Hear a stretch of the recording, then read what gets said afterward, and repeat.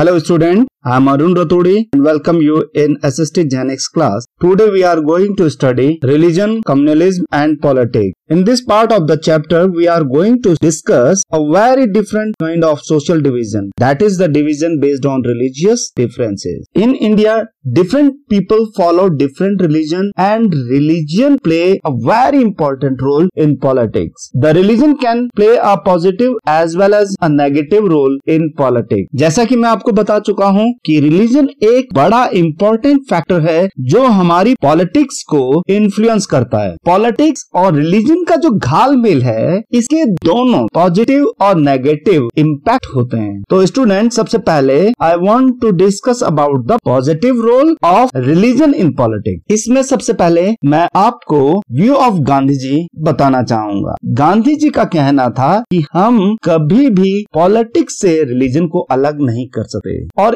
इसमें रिलीजन होना भी चाहिए। पर जब गांधी जी इस तरह की बात करते हैं तो उनका मतलब उस रिलीजन से नहीं है, जिस रिलीजन को हम प्रेजेंट कॉन्टेक्स्ट में देखते हैं लाइक हिंदू और मुसलमान। उनका मानना था कि पॉलिटिक्स के अंदर जो रिलीजन के कोर वैल्यूज़ हैं, वो होने चाहिए। कोर वैल्यूज़ मीन्स जैसे कि जो दुखी और प्रताड़ित हैं, जो सफ़र कर रहे हैं, उनकी हेल्प की जानी चाहिए। क्रुअलिटी खत्म होनी चाहिए। सेवा का भाव होना चाहिए। अर्थात according to him politics must be guide by ethics मतलब कि पॉलिटिक्स को हमेशा रिलीजन की तरफ़ से गाइडेंस मिलनी चाहिए। जिस प्रकार से रिलीजन उसको गाइड कर सकता है, उसे करना चाहिए। अब दूसरा व्यूज़ आता है ह्यूमन राइट ग्रुप्स की तरफ़ से। ह्यूमन राइट्स ग्रुप्स जो हैं, उनका मानना है कि किसी भी कंट्री में जो कम्युनल राइट्स होते हैं, जो कम्युनल दंगे होते हैं, उसमें शिकार हमेशा माइनॉरिटी रिलीजन वाले होते हैं। उसमें माइनॉरिटीज को सफ़र करना पड़ता है। इसीलिए कई सारे जो ह्यूमन राइट ग्रुप हैं, वो गवर्नमेंट को फोर्स करते हैं कि the government must take some step to protect religious minorities जो रिलीजियस माइनॉरिटी के लोग हैं, उनको प्रोटेक्ट करने के लिए सरकार कुछ कदम उठाए।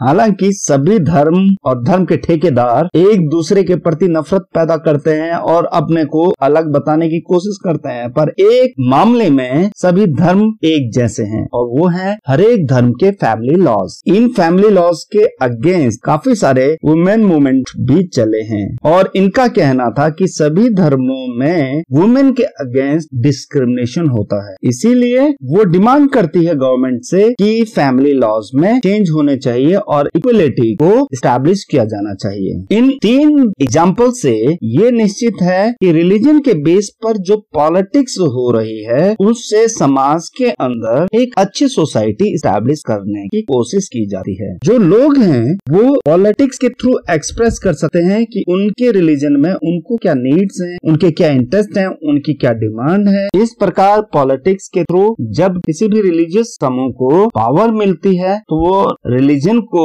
रेगुलेट करने की कोशिश करता है। वो कोशिश करता है कि जो डिस्क्रिमिनेशन है, जो ऑपरेशन है, उसको रोका जाए। पर केवल पॉजिटिव रोल ही नहीं है पॉलिटिक्स रिलीजन के कारण पॉलिटिक्स पे केवल पॉजिटिव इम्पैक्ट ही नहीं पड़ता, बल्कि में नेगेटिव इम्पैक्ट भी पड़ते हैं। और जनरली ये देखा गया है नेगेटिव इम्पैक्ट ज़्यादा पड़ते हैं। अभी तक तो हमने देखा कि रिलीजन की कमी के कारण जो पॉलिटिक्स होती है, उसके कारण रिलीजन के अंदर सुधार करने के प्रयास होते हैं। पर अब हम देखेंगे कि रिलीजन के कारण जो पॉलिटिक्स होती है, उससे सोसाइटी पर बहुत बुरा प्रभाव भी पड़ता है। जैसा कि हम देखते हैं कि नॉर्दर्न आयरलैंड जो बना है, वो केवल रिलीजन के बेस पर अलग कंट्री की डिमांड से बना। इस तरह से रिलीजन के बेसिस पर अगर पॉलिटिक्स होती है तो वो कंट्री को भी डिवाइड कर सकती है। ये बुरा प्रभाव तब भी पड़ता है जब एक रिलीजन के फॉलोअर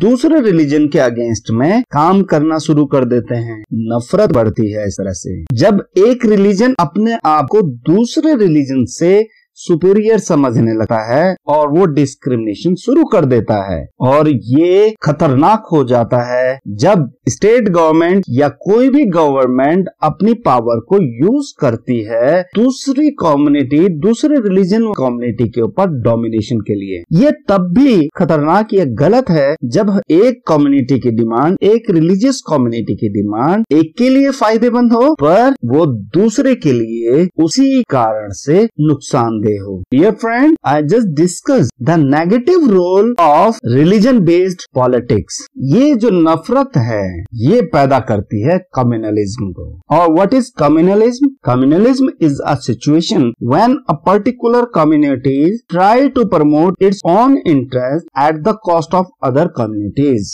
जब कम्युनलिज्म वो सिचुएशन है, जब एक पर्टिकुलर कम्युनिटी कोशिश करती है अपने इंटरेस्ट को पूरा करने की, दूसरे कम्युनिटी के कॉस्ट पर। ये आइडिया तब पैदा होता है कम्युनलिज्म का आइडिया तब पैदा होता है जब एक पर्टिकुलर रिलीजन के फॉलोवर ये मानकर चलते हैं कि उस रीजन में रहने वाले, उस रिलीजन के लोग एक कम्युनिटी हैं और उनके इंटरेस्ट सेम हैं। और जो थोड़े बहुत डिफ्रेंशिएट हैं भी, वो कोई ज़्यादा मायने नहीं रहे और ये विचार बढ़ते बढ़ते यहाँ तक बढ़ जाते हैं कि जो डिफरेंट रिलीजन के लोग हैं, वो इक्वल सिटीजन के रूप में नहीं रह सकते। अब बात की जाती है कि जो सिचुएशन कम्युनलिज्म की है जनरली सामान्यतः यह सिचुएशन हर वक्त नहीं रहती, क्योंकि बेशक सारे व्यक्ति एक धर्म के, एक ही रिलीजन के सारे लोग एक तरीके से सोच नहीं सकते।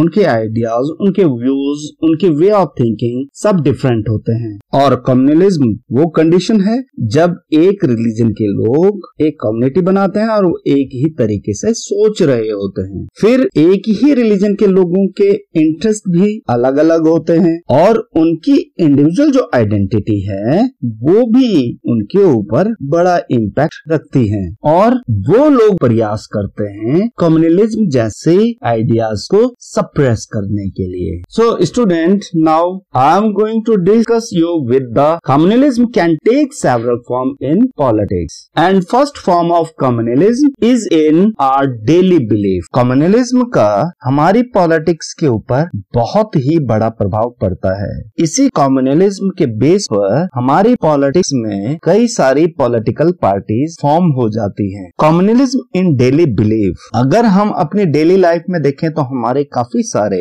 प्रिजुडिस हैं स्टीरियोटाइप थिंकिंग है, जो दूसरे रिलीजन के लिए होती हैं अगर आप हिंदू हैं तो देखिए कि कोई मुस्लिम आपको मिलता है तो आपके प्री सेट एक व्यूज़ होंगे उनके लिए। और अगर आप मुस्लिम हैं तो आपके दिमाग में भी प्री सेट कुछ आइडियाज़ और कुछ व्यूज़ होंगे हिंदूज के लिए।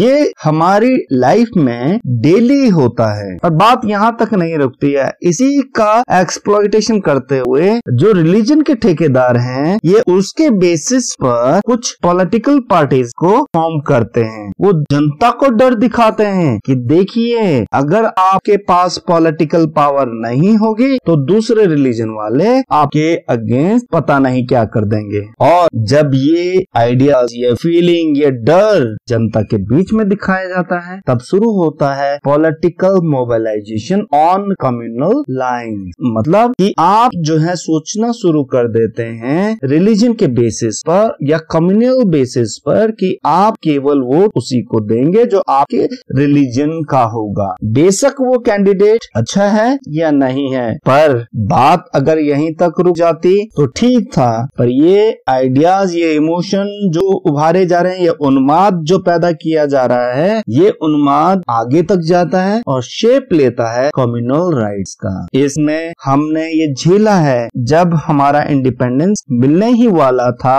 तो पूरे देश में हिंदू, मुस्लिम कम्युनल राइट्स हुए थे। और जनरली इंडिया में जब भी किसी इलेक्शन का वक्त होता है, चुनाव के टाइम होते हैं तो आप देखिए कम्युनल राइट्स होने के चांसेस बहुत बढ़ जाते हैं। अब इस कम्युनलिज्म का बिल्कुल अपोजिट जो वर्ड है, वो है सेकुलर स्टेट अब ये सेकुलर स्टेट है क्या? Secular state is a state where citizen have complete freedom to follow any religion but there is no official religion भाई, सभी लोगों को आज़ादी है किसी भी धर्म को मानने की। किसी भी धर्म को मानिए। और इसमें सरकार का, या स्टेट का, या गवर्नमेंट का कोई भी ऑफिशियल रिलीजन नहीं होता है, सभी रिलीजन इक्वल होते हैं। हमारे कॉन्स्टिट्यूशन मेकर ने बहुत सोच समझकर इस प्रोविज़न को किया था। हमारी कंट्री में अलग अलग कम्युनिटी के लोग रहते हैं अलग अलग बिलीफ को मानने वाले लोग रहते हैं अलग अलग रिलीजन के लोग रहते हैं, और सभी को इक्वलिटी हो, सभी को सम्मान मिले, इसके लिए हमने सेकुलर स्टेट का